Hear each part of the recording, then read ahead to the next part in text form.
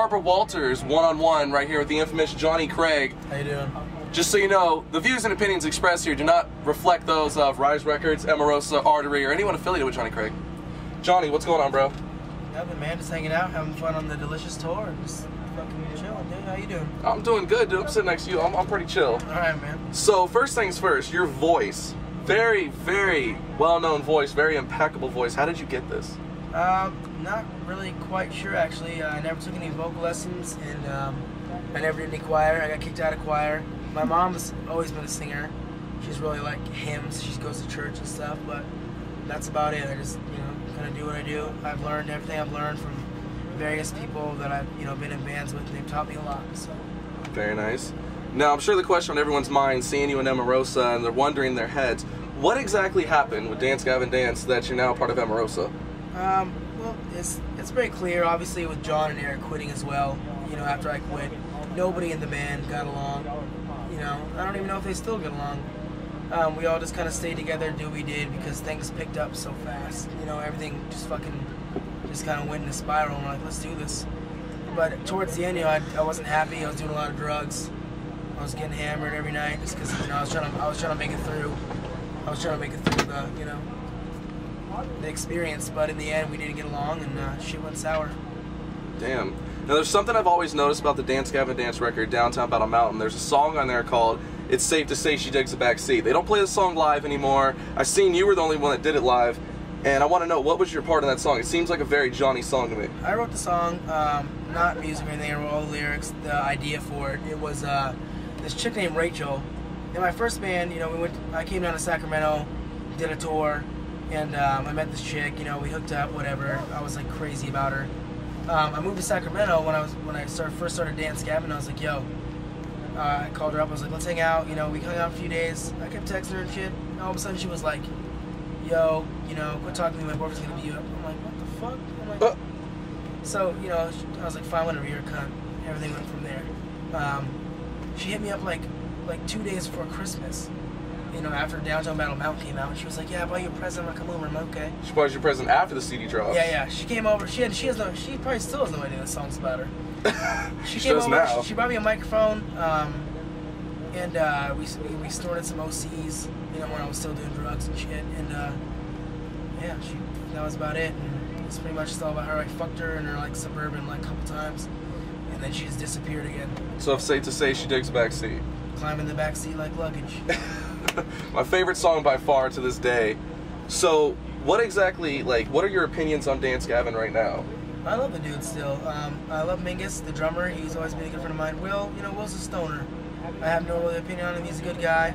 He doesn't he doesn't really do anything with smoke weed, but I'm still chill with him. Like I don't care about him. Zach, I could give a fuck about. Like, he became our merch guy and then our guitar player.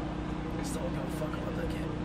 Now, I've heard some some shit on the internet, watched some videos, and um, calling out some some former members of I called him out. I called him out. I called him out. Uh, you know, he. I look at the YouTube videos that we have every day, and um, he just sits there and talks like nonstop shit in the comments. And one day, you know, we got a little tipsy before uh, North Carolina show. We are on tour with Sky Eats Airplane, and uh, I was like, "Fuck it." I was like, "I'm gonna call him out," and I called him out, and uh, I didn't really. I was happy about it, but our manager wasn't too happy because we the same manager and didn't really go out very well. So. Now, when I, I interviewed Agraceful, and Casey from the band said that one of the possible reasons you would be talking about Chris and his wife would be that uh, Emarosa received supposedly bad reviews on their on the Relativity album because you guys went from being a metalcore band to now being this this ambient band that, that Jonny's in. Well, like, what do you say about that? My, my opinion on that is, you know, we they they were like an Underoath rip off band. Like even Chris, he was he did like like rip offs of like melodies from the under singer. So I was like, you know what? I don't really care. I, don't, I really don't think too much about it because we're actually making real music, and they were just kind of, you know, sliding into the same genre as everyone else. And I feel like we're trying to do something different, trying to have a better sound than what they used to have, and that's why they got rid of him and got me. Because I, he, he was still in the band when they got me. I came to Kentucky to try out for them, and he was still in the band. They let him go. So that's I think that's what he's a little butthurt about. And as far as his wife and stuff, they're not really married. oh, That's that's the that's the, the word on the streets is that they're not really married at all. oh, did not know that. you know, it might be a little little source that uh, named Ashley Francis, but that's you know, that's another that's another story another time. So from going from Dance Gavin to Emarosa, and you say you used to do drugs, so you cleaned up to get in this band, pretty much. Um, I cleaned up a little bit, you know. I, I, I still drink, you know, but half the fucking people in the world drink. Exactly. There's nothing wrong with a little drinking. Yeah. Down with that. Yeah, with that. We good? We. Okay, sweet. So, what is this project you have going on with Vic Fuentes and a couple other guys I hear about? Um, it's me, Craig Owens, uh, Vic, Mike, Vic and Mike Fuentes, Nick Martin, um, a few other people. Anthony Green's gonna be on it. Sierra from VersaEmerge, maybe. We don't know if she's confirmed yet. It's just uh, a little something to do, have some fun. We're gonna go to Seattle. Um, I can't really give any real information about it. There's a few songs right now we're working on. I can't release anything too crazy, but I, it's it's gonna be fun. It's gonna be crazy, and we're gonna have a good time. And I think you kids are really gonna fucking enjoy it. Is it anything along the lines of Sounds of Animals Fighting? Um, as far as I'm concerned, it right now it has nothing to do with it. Very nice. Do you guys have any sort of idea what it's going to be? Just a super album with a bunch of super vocalists? Hex It's, it's, it's just gonna be fun. Are we done skis? Is it dead? Nope. Okay. Let's- let's Keep going. We'll just keep going. Yeah, we'll keep going. Um, Apparently the battery's gonna die, so we're trying to rush as fast as we can here, guys. for shizzle. So ask, ask let's, let's get one more question out here before it dies on us. Get a couple, dude. We're good. So, Jonny, if you were to die tomorrow, for instance, what do you want people to remember Jonny Craig as? Like, what is the one thing you stand for over anything in the world? Dude, man, to be honest with you, like, I've always had this problem.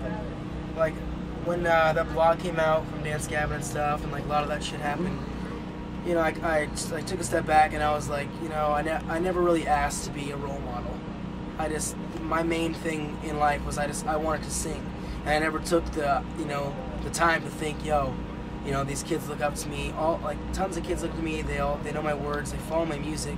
But I never wanted to be like a role model. You know, I just, I wanted to live my life and just sing and just live it and be the best I could. So I think that if, if, if they could take anything from that, I just want kids to know that, you know, if you're happy doing something, no matter what other people think, I think that you should just go for it and just have the fucking best time of your life doing it because no one no one in this world is going to take that away from you if you have the strongest feelings about it. So I like that philosophy. I like that a lot.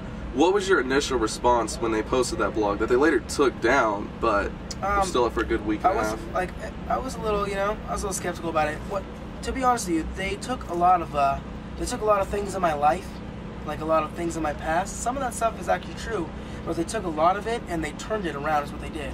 Like they added on parts. They exaggerated about many things.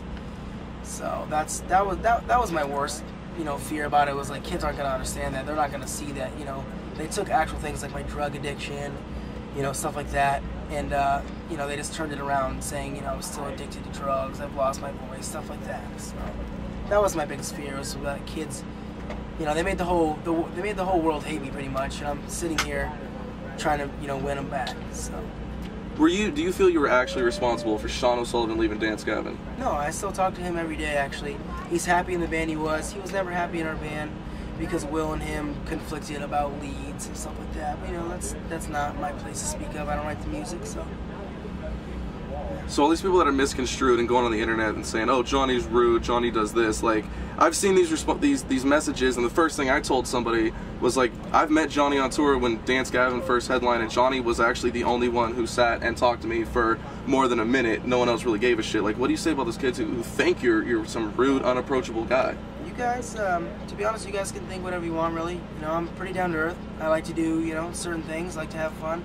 Uh, like I said, I like to live my life to the fullest. But uh, I'm never rude, and I never would ever, ever turn anyone away. So, if you guys want to come talk to me, you guys want to find out that I'm not, you know, the dick that everyone thinks I am, then please come down, hang out, have a good time, talk to me, ask me anything. I'm super open and ready to answer any questions you guys have. Perfect, Jonny. What do you got coming up next? What's going on with Emarosa? What's going on with you? Um, we have a CD. We're trying to we're trying to write a new CD right now. They want they want to get us in uh, the studio by May. They, they want to have it out by uh, the next year, by the summer by next year, and uh, it's gonna be good. Because the last CD um, was really hard to write because I just I got shoved into the band, but I did my best to go in there and shoot the vocals out as fast as possible. This time I actually have a lot of time to sit there. I'm familiar with the band. I know how they play. I know how they write, and this time it's gonna be a whole different experience. Is there a lot of pressure to make a follow up to Relativity? Nah, not really at all. Actually, it's gonna be a lot easier. We don't. There's not gonna be a lot of stress. this whole stress was, you know, I was in the band, all the songs were written. I didn't have a chance to, you know, get down with the songs, have a chance to really groove with them. This time I'm gonna have a full chance while they're writing the songs to know them, learn them, love them, and just put my put my magic on it. So. Very nice. The, the vocals I hear on Relativity seem a lot different from what I've heard on uh, Whatever You Say is Royal Ocean, Downtown Battle Mountain. Is it true that you were inebriated during recording both those records? Um, that is actually, it's positive. That was pretty fucked up. That's why one of the songs on uh, on Downtown Battle Mountain is called Strawberry Andre, because we drank a lot of that Strawberry Andre while we were recording it. And um, I didn't drink at all, actually. Taylor